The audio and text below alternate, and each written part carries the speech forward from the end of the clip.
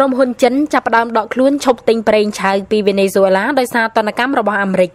ចិនគឺជាម្ចាស់បំណុលធំទី1នៃរបបលោកម៉ាដូរ៉ូដែលមានដល់ទៅ70ពាន់លានដុល្លារអាមេរិកប្រាក់កម្ចីរបស់ចិនទៅឲ្យវេណេស៊ុយអេឡាខ្ចីនេះគឺតាមរយៈការទិញប្រេងឆៅពីវេណេស៊ុយអេឡាដើម្បីផ្គត់ផ្គង់ធម្មពលនៅក្នុងប្រទេសចិនតែនៅពេលនេះចិនបានសម្រេចលុបចោលគម្រោងទិញប្រេងឆៅពីវេណេស៊ុយអេឡាចំនួន5លានបារ៉ែលបណ្ដាញផ្សាយព័ត៌មានអាមេរិក Bloomberg បានចុះផ្សាយនៅថ្ងៃទី17សីហានេះថាក្រុមហ៊ុនប្រេងរបស់ចិនគឺរបស់រដ្ឋាភិបាលចិនតែម្ដងដែលមានឈ្មោះថា Petrol China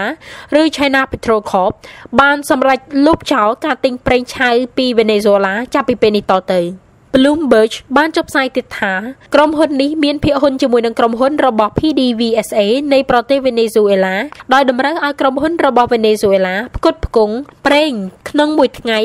350,000បារ៉ែលតែមានការធ្លាក់ចុះក្នុងការផលិតប្រេងឆៅជារៀងរាល់ថ្ងៃតាមប្រភពដដែលនេះក្រុមហ៊ុន Petro China បានដាក់ភាគហ៊ុនជាមួយនឹង ដៃគូមួយចំនួនទៀតក្នុងទ្វីបអាមេរិកឡាទីននេះដើម្បីផលិតប្រេងឆៅនាំទៅប្រទេសចិននេះគឺជាលើកដំបូងហើយដែលក្រុមហ៊ុនដ៏ធំរបស់រដ្ឋាភិបាលចិនដែលមានទុនវិនិយោគរាប់ពាន់លានដុល្លារជាមួយនឹងក្រុមហ៊ុនប្រេងវេណេស៊ុយអេឡា PDVSA បានសម្រេចលុបចោលការទិញប្រេងរបស់ប្រទេសមួយនៅអាមេរិកខាងត្បូងដែលកំពុងតែហែកហួរដោយវិបត្តិនយោបាយនិងសេដ្ឋកិច្ច។ ការដែល Petro China ធ្វើដូចនេះទៅលើរបបលោកម៉ាដូរ៉ូគឺបន្ទាប់ពីប្រធានាធិបតី Donald Trump បានសម្រេចដាក់ទណ្ឌកម្មទាំងស្រុងទៅលើរបបលោកម៉ាដូរ៉ូកាលពីថ្ងៃទី8សីហាអ្នកសង្កេតការណ៍មើលឃើញថា Petro China មិនហ៊ានប្រឈមមុខចំពោះការដាក់ទណ្ឌកម្មរបស់អាមេរិកដែលអាចប៉ះពាល់ដល់អនាគតក្រុមហ៊ុនរបស់ខ្លួន ជាពិសេសប្រព័ន្ធហិរញ្ញវត្ថុរបស់ក្រុមហ៊ុននេះនៅលើទឹកដីសហរដ្ឋអាមេរិក ការដាក់ទណ្ឌកម្មរបស់សេតាវិមានថ្មីនេះគឺត្រូវរឹបអូសទ្រព្យសម្បត្តិនិងហិរញ្ញវត្ថុក្រុមហ៊ុនបរទេសឬជនបរទេសណាដែលមានលើទឹកដីអាមេរិក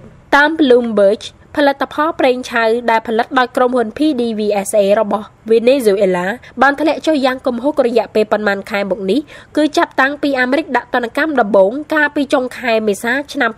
2019សម្រាប់អាមេរិកផ្ទាល់ដែលនាំប្រេងឆៅពី Venezuela ក្នុងមួយថ្ងៃ5សែនបារ៉ែលគឺបានផ្អាកទាំងស្រុងដែរ។ មិនតែប៉ុណ្ណោះអាមេរិកបានបង្គាប់ឲ្យប្រទេសមួយចំនួនដែលមានទំនាក់ទំនងទិញប្រេងជាមួយនឹងវេណេស៊ុយអេឡាដូចជាឥណ្ឌាជាដើមផ្អាកការនាំប្រេងពីប្រទេសនេះសូមជម្រាបថាអាមេរិកនិងសហគមន៍អន្តរជាតិជាច្រើនទៀតដូចជាសហភាពអឺរ៉ុបកាណាដានិងប្រទេសជុំវិញវេណេស៊ុយអេឡាមានកូឡុំប៊ីប្រេស៊ីលអាហ្សង់ទីនប៉េរូ